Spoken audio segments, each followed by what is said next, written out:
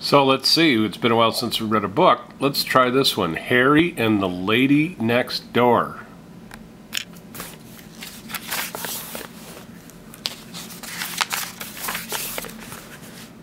The Party. Harry was a white dog with black spots. He loved all his neighbors except one. He did not love the lady next door. The lady next door sang. She sang high and loud, and when she sang, Harry's ears hurt. She sang higher than a peanut whistle.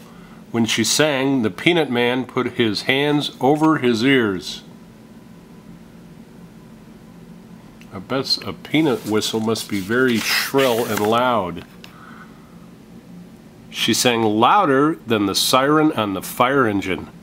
When she sang, the firemen put their hands over their ears.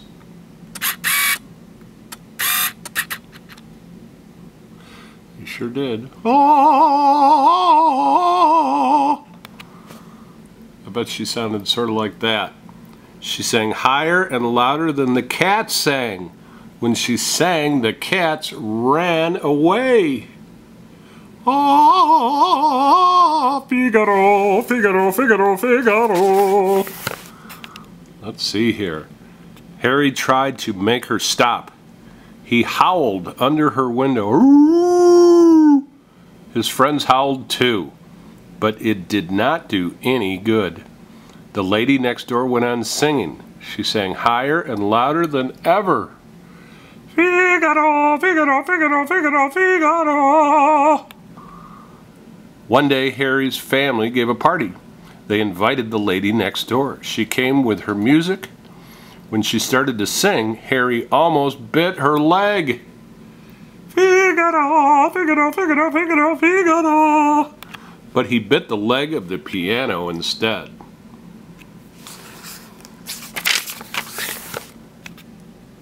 The family sent Harry out of the room. You're a bad dog, they said. Harry just wagged his tail.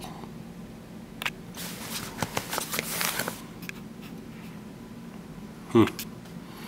As he walked to the door, some people said, Poor Harry, but others whispered, The lucky dog. Why do you think they thought he was lucky?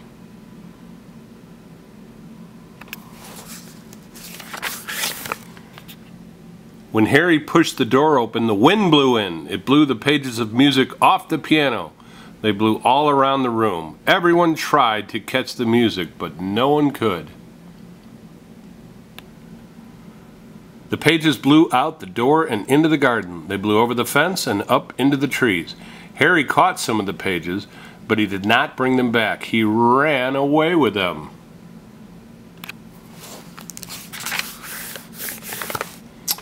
Harry's first try. He ran until he came to a quiet spot. He dropped the music and lay down. Soon he fell asleep. In a little while, something woke Harry up. Hmm, what woke Harry up? All around him were cows mooing.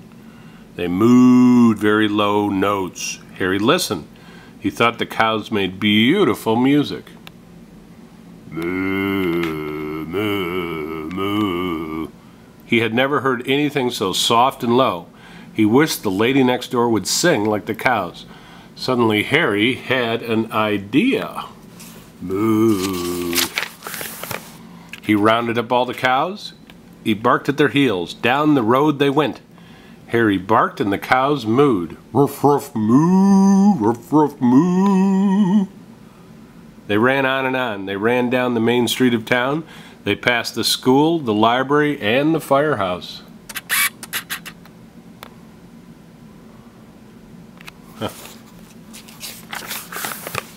When they came to Harry's house, the lady was still singing. Harry ran ahead and stopped the cows. They went on mooing. They mooed and mooed and mooed. They all mooed soft and low. The cows mooed for a very long time, but it did not do any good. The lady next door went on singing. She sang higher and louder than ever. Moo, Figaro, Figaro. Figaro, Figaro. Harry's family called the man who owned the cows. He came and took them home. He does not look happy. That night, Harry slept in the doghouse.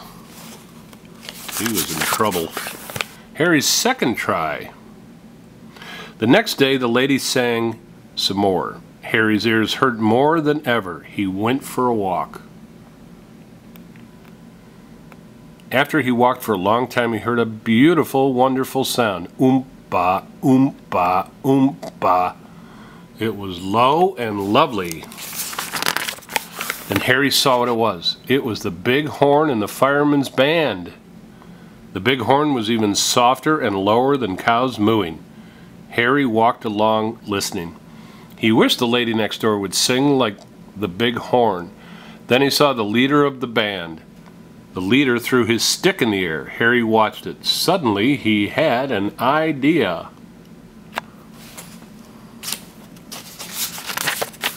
The next time they went into the air, Harry caught it. Harry ran in front of the band. The leader ran after Harry, and the band ran after the leader. What is he doing? Soon the leader was all out of breath. He stopped running, but the band ran after Harry. The men played as they ran. Harry led them all down the main street of the town. They passed the school, the library, and the firehouse. Harry's leading the band. Harry stopped the band in front of the lady's house. She was still singing. The big horn player played, even softer and lower than before. He blew and blew and blew right under her window, but it did not do any good. The lady next door went on singing. She sang higher and louder than ever. When the leader got there, he had Harry's family with him. Harry gave the stick back. Uh-oh. That night, he slept in the doghouse again.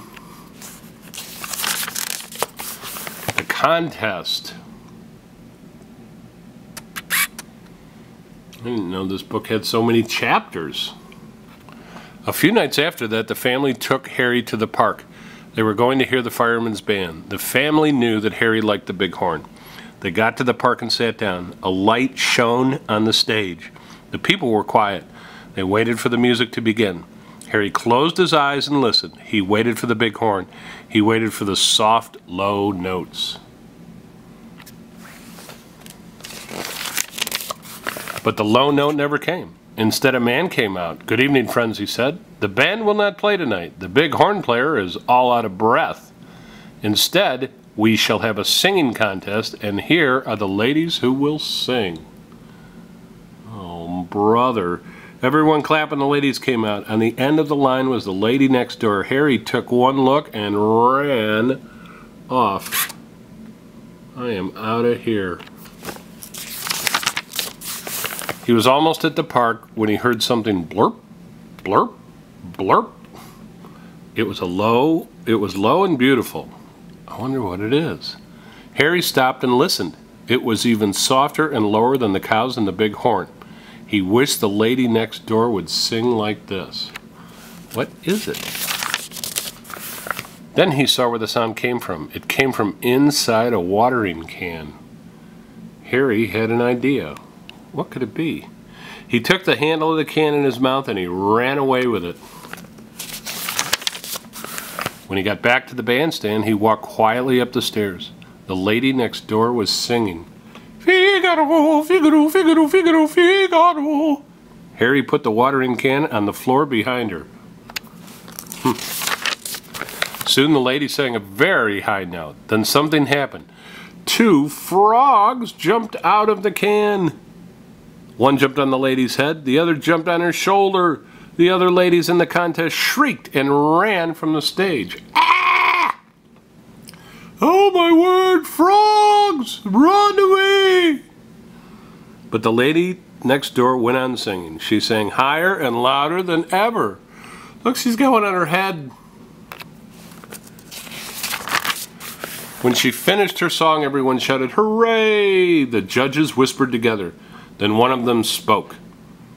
Ladies and gentlemen, he said, the other ladies in the contest have all gone home. So the lady next door wins the singing contest. She is a brave lady. She wins first prize. It means she can study music in a far off country for a long time. Ooh, that's going to make Harry excited. Everyone clapped and clapped. Harry barked and barked. He was the happiest of all. Figaro! In the middle of all the fuss, the frogs hopped home. They jumped in the water and lived with Happy the snapping turtle. Ta-da! Soon they came, soon the time came for the lady next door to go away. Harry went to the ship with the family to see her off. Goodbye, Harry. Figaro.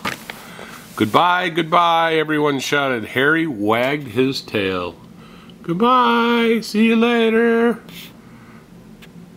The lady next door started to sing. Let's get a good picture here. Oops, sorry. Let's see. It's not working out too good. Figaro, Figaro. But no one ever heard her. Just as she sang the first note, the ship blew its foghorn.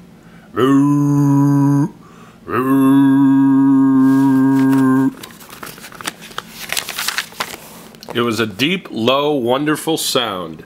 As the ship moved away from the dock, other boats blew their foghorns too. Harry thought it was the most beautiful goodbye song he had ever heard. Figaro, Figaro, Figaro, Figaro, Figaro. The end. Well, that's all for now. I'm going to load it on YouTube and hopefully you'll watch it later. Love you guys. Bye bye.